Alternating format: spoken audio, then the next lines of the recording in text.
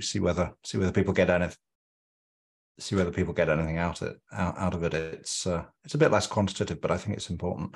So I'm going to talk about errors of interpretation or type six errors, as you'll you'll see they can also be described as. Um, I have various hats. I, ha- I have a data science company that does software and consulting, and I'm a visiting professor in the maths department and the chief data scientist at the Smart Data Foundry, which is a nonprofit owned by Edinburgh University. Um, and oh, and clicking's not doing anything. And as Rohan said, I've I've been pushing for about seven years now that, or developing this idea of test-driven data analysis, which is a lot like reproducibility, but with slightly more of a focus on automated testing. And and the sort of worldview it starts from is that most analysis that we do uh, has two phases a development phase and a deployment phase. And during the development phase uh, for analysis any any kind of data analysis uh, you almost always develop the analysis in the context of some concrete data set some specific set of data that you want to calculate some result on or, or produce some understanding of. And various things can go wrong. And in that development phase the two most obvious things are you can fail to understand the data or you can fail to understand the problem domain, or you, or you can fail to understand the applicability of methods. And I, I call those errors of interpretation. Uh, and then even more obviously, as you develop your analysis, whether that's you know in Excel or in R or in Python or whatever, you can make coding mistakes. Uh, and those are bugs, but I, I tend to call those errors of interpretation. And the key thing is that you only you only get the right answer if you don't make uh, bad mistakes in either of those places. It's it's kind of obvious. And that used to be how a lot of analysis ended. But these days, we almost always have some kind of operational phase where we now want to push new data through either an automated pipeline that we're running all the time, or, we want to, uh, you know, run new data through it by hand. And that brings a whole new set of opportunities for things to go wrong. We can use the software incorrectly, errors of process, um, or very importantly, there can be a mismatch between uh, the development data and the data we're pushing through, or the assumptions that we've made uh, when we're building our modeling on the basis of the deployment data. And those are those are errors of applicability, as I call them. And then at the end, uh, either we or someone else can, of course, misinterpret our results. So we get another kind of error of interpretation. Uh, and it's only if we avoid all those things that our first run through uh, is is going to be correct. Uh, and to make things even worse, uh, when we have this operational setup, we, we typically run this part of the pipeline many times. So there are lots of opportunities for things to go wrong. Now, in, in TDDA, which is a, uh, a Python library that I, I, maintain, an open source library, and also a, a set of ideas, uh, we've we've kind of tried to tackle most of the areas of this. So errors of process and errors of applicability. Uh, we've developed stuff for using constraints to check input and output data, and indeed to discover suitable constraints for checking from example input and output data, uh, which is quite powerful and which we use all the time uh, in all the work I do. Um, and we've developed extensions to standard testing libraries that make testing easier when you have the sorts of complex outputs that uh, are typical in data science where the results are not necessarily identical every time. And I don't mean that's because of seeds or because of numerical rounding or parallelism or anything like that. I mean more because you know they tend to embed versions and date stamps and things get deserialized in different orders. So there are lots of things that can make the files different even when the semantic content of the output is identical. So there's support in the library for that. What I haven't really talked about much before, uh, or at least not systematically, is errors of interpretation. What can we do about those? Is there anything we can do about those. Um, and so, as I say, test-driven data analysis, it's, it's kind of like reproducibility, but it's, I guess it comes slightly more from the software end of things. And the idea is we're trying to produce stuff that's helpful, even if no one's trying to reproduce your data, even if it's uh, your, your results, even if it's just you.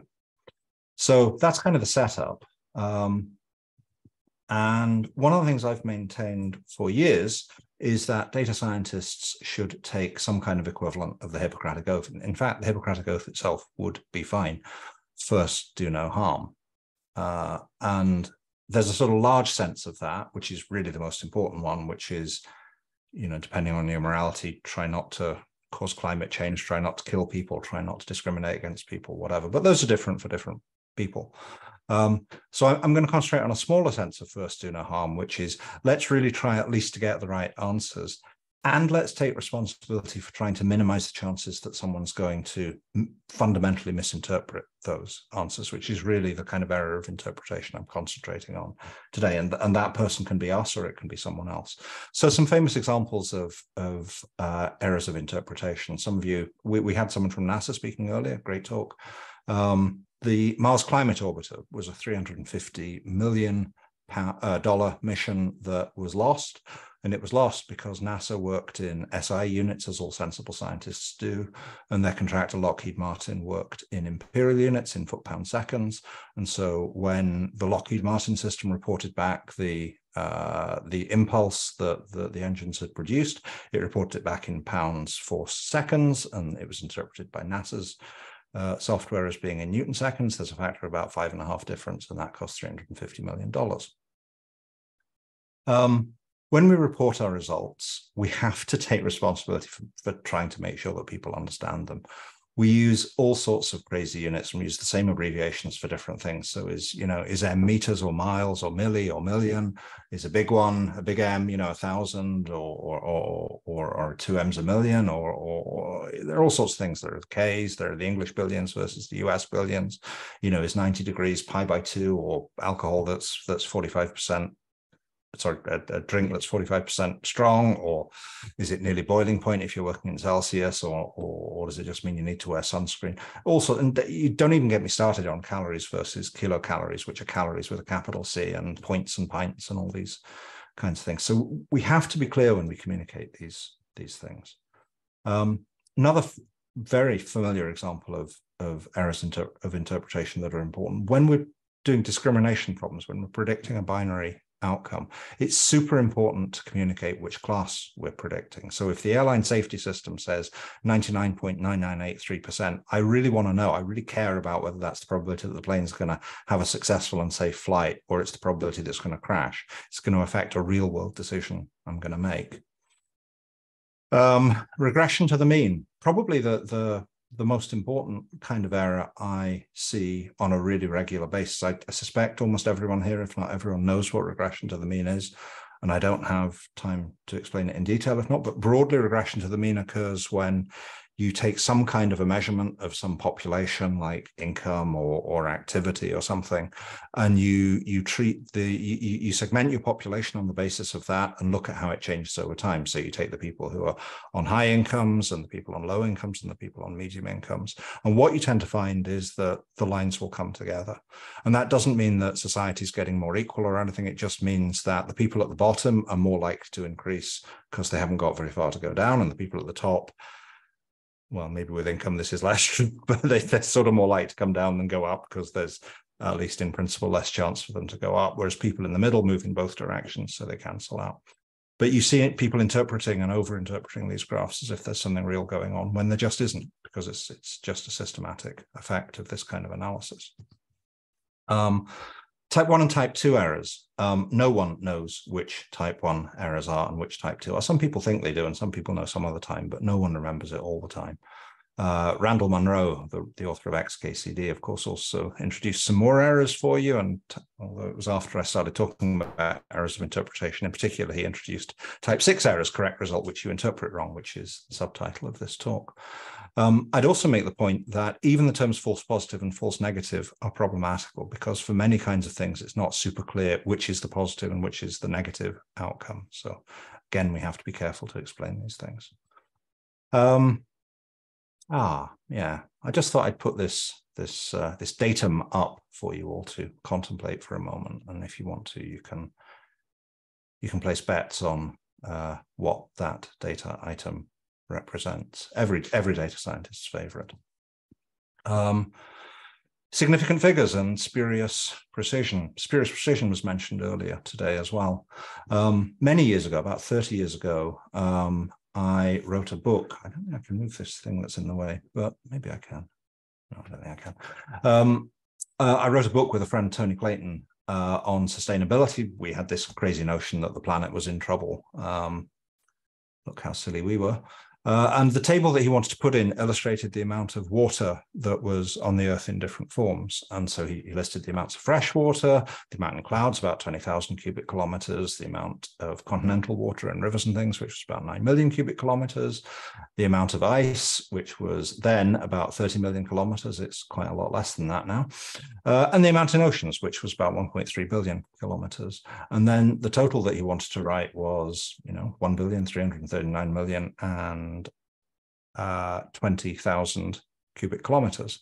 And I refuse to put that table in because, as I'm sure you've all spotted, uh, every digit in that final row comes from a different part of the data. Of course, the 1.3 billion uh, cubic kilometers of, of water in the oceans is not that to six significant figures. So you can't possibly add 20,000 kilometers to it and get a meaningful result. So what we ended up doing, which is not perfect, but I think was better, uh, was we put what should have been C dot, but C dot in as the total, and we explained in the text why we'd done that. And Tony's objection to that was uh, if we do that, people will write and say we've got the sums wrong. And it turns out Tony was exactly right. Four people wrote in to tell us that we got the sums wrong. But I still feel that's a fairer representation of the data than, than that. Um, I'm just kind of listing through a few things. We'll we'll get to the final one in a minute. Um, percentage changes always problematical. Again, I'm sure everyone here knows this, but if something goes from one percent to one point one percent, what is the increase? Obviously, geometrically, multiplicatively, it's 10% increase because 1.1 is 10% bigger than 1, but it's a 0.1 percentage point increase. That's what the point in percentage point means. Unfortunately, there's no standard way of writing that. I tend to use PP, other people use uh, percent PT. Other people still use um, well, actually various other various other things, but it's it's super important to understand the difference. Sometimes called relative versus absolute risk if it's a risk that you're measuring. And finally, we get to graphs or charts. Um, there's a there's a very good website, Junk Charts, you might enjoy. Um, I'm just going to state my views on these things. These are all just bits of guidance, even though I'm going to state them as absolute rules.